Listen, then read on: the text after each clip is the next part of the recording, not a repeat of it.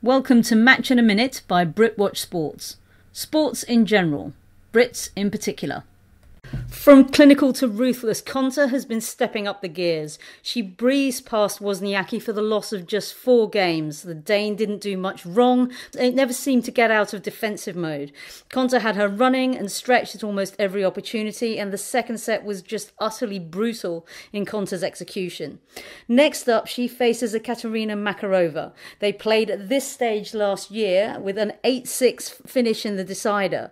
Konta has actually yet to drop a set. Makarova has dropped two, but she beat Cibulkova in very decisive form today. But in all honesty, I think we are in for a potential Serena Williams Johanna Konta quarterfinal. And by Wozniacki's words, she thinks that she could give Williams a run for her money. Either way, Konta is on fire. You've been listening to Britwatch Sports Match in a Minute. I'm Roz Satar.